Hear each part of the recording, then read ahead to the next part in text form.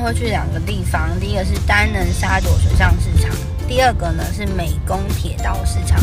距离曼谷大概要开车一个小时半。今天会选择用包车的方式，是因为那边的交通不是非常的方便，所以包车是最方便的，而且可以在车上睡觉，然后就到了哟。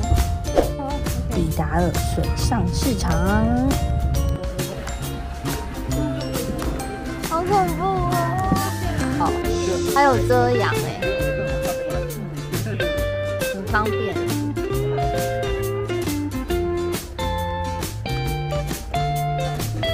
有没有想要买的东西呢？这边有一些东西可以看，还有锅碗瓢菜。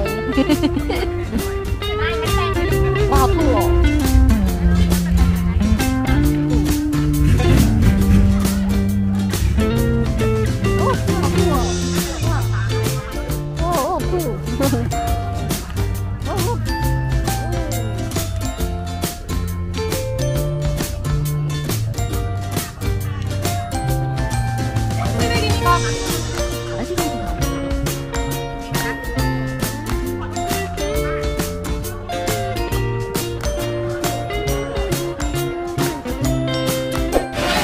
天到水上市场，我的司机刚刚送给了我这个椰子冰。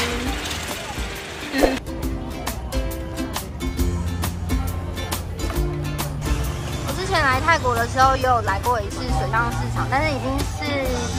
好像十几年前的事情了。我记得那一次我同学来的时候，因为传速太快，然后买东西买一买，人家找给他的钱来不及给，就飘走了。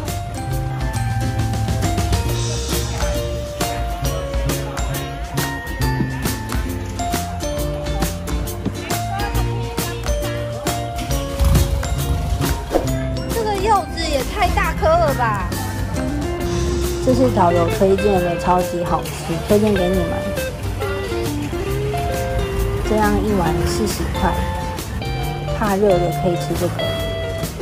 现在到了铁道市，车子即将就要进来了哟。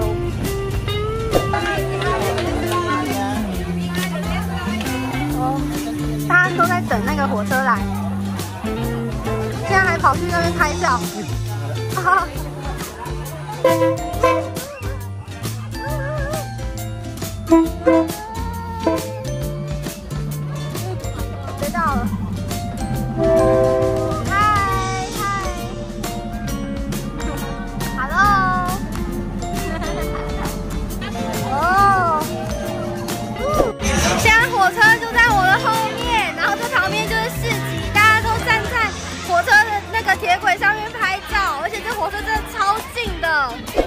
大家都开始纷纷的在拍照了，非常非常的有趣，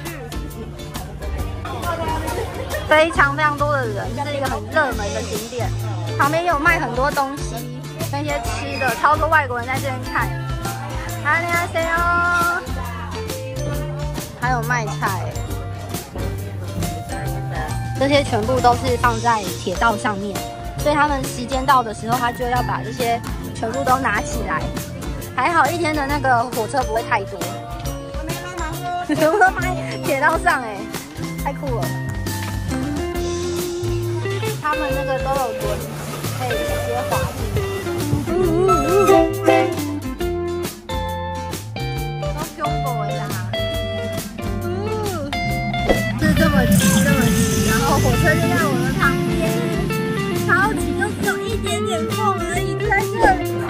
旁边有一个专门是那个是给观光客来吃饭的地方，真的超级然后价格也是比之前的还要贵一些。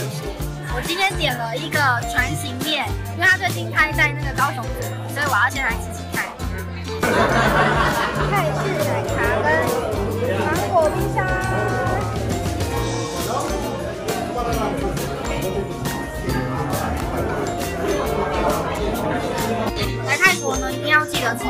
它的味道有一点点像牛肉的味道，但是又加了猪血或是鱼血，那它的味道是更浓。郁。在水上市场不用，我是选在铁道市集这边吃，因为这边是店面，所以稍微贵一点。如果你在路边看到水上市场的价格，你觉得合理的话，也可以试试看哦。那今天就结束了这一趟愉快的泰国之旅，要去哪里去喽？